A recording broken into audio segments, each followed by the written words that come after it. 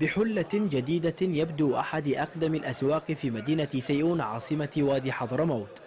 سوق الحنظل أو كما يعرف أيضا بسوق قسبل حيث جرى ترميمه من قبل الصندوق الاجتماعي للتنمية بطراز فريد وهندسة بديعة ذات طابع معماري يحاكي التراث الحضرمي كما يتحول بفعل التجديد إلى لوحة تشكيلية. سوق الحنظل بمدينة سيئون أو ما يسمى قديما بسوق قسبل وهي تسمية لا زالت تطلق عليه إلى اليوم.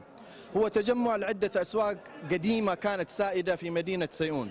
كما أنه يتوسط قلب سوق المدينة. تتجمع في هذا السوق العديد من المواد إلى جانب الحنظل ومستلزماتها.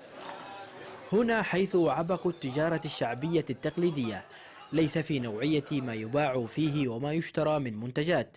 بل حتى في طبيعة العرض والتداول لتلك البضائع وهو ما يميز هذا السوق. فتجد من يبيع الحنظل واللوز والبهارات المتنوعة وبذور الكثير من المواد الزراعية والحلوى وحتى البخور إضافة إلى المنتجات اليدوية التقليدية.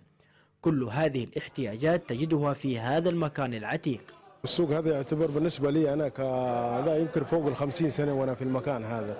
أما الوالد فوق ال 70 تقريبا اليوم تقريبا اللي مسكوا الشيبان اللي قدامنا. وهذا كلهم كانت كأسرة واحدة وسط السوق. السوق اليوم بهيئته الجديدة ازداد حضوره ليصبح محل جذب لزوار المدينة ومقصدا سياحيا أيضا في حركة تجارية نشطة يرتاده الزائرون ليحصلوا على ما يحتاجونه من مقتنيات لا تجدها إلا فيه. لم يعد هذا السوق معلما تاريخيا فحسب بل أصبح اليوم رمزا لمدينة سيئون عاصمة وادي حضرموت وجاذبا لزوارها كسوق عتيق ما يزال يحظى بقيمة استثنائية. حدد مساعد قناة بلقيس من مدينة سيئون حضرموت.